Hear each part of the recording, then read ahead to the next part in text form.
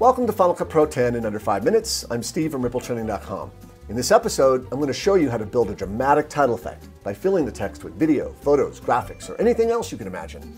As you're about to see, there are only a few steps that if you're coming from a track-based editor like Final Cut Pro 7 or Premiere, you'll want to pay close attention. I need a cool opening title for this promo video Mark Spencer and I shot for a Napa Valley winery. With the playhead directly over the clip, press X to create a selection range that matches the clip's duration. To add a basic title, press Ctrl T. The basic title clip is connected above the clip and its duration is constrained to the selection range. Now edit the text by double-clicking the title. I'll type out Napa, then press Command 4 to open the inspector. Click the text button to change the font and other properties. When choosing a font, I recommend choosing a bold font so the video will clearly be seen inside the letters. This font called Headline A will work just fine. Make the font as large as you like. For this shot, I want the type to fill the frame.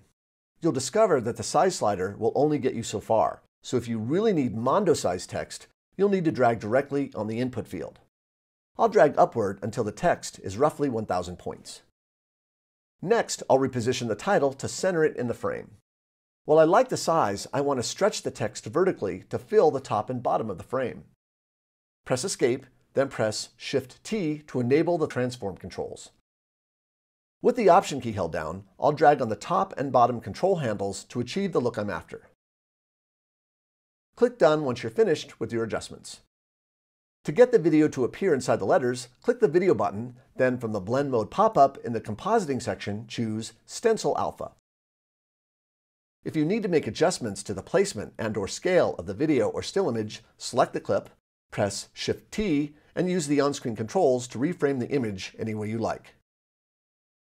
While we're here, I should point out that we're working with a photo, but what I'm demonstrating works equally well with video. Since this is a still image, I want to give this photo some movement.